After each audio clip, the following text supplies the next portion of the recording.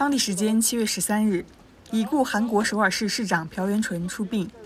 被曝失联的朴元淳十日凌晨被发现身亡，警方认为无他杀痕迹。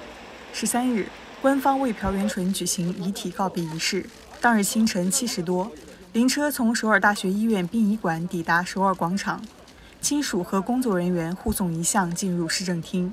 受疫情等原因影响，遗体告别仪式为线上举行，仅允许少部分人入内。不少支持者聚集在室外，用手机观看直播。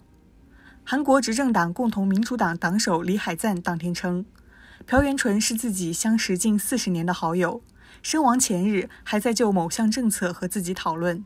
他称，朴元淳是韩国公民运动的象征。诸多韩国政要当天参加遗体告别仪式，向遗像献花。朴元淳女儿当天表示，对父亲来说，每一位市民都是珍贵的。他也竭尽所能让首尔成为更好的城市。